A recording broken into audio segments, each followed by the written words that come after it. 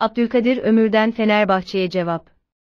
Trabzonspor'un genç futbolcu Abdülkadir Ömür, bugün gerçekleştirilecek olan idman öncesinde basın mensuplarının sorularını yanıtladı.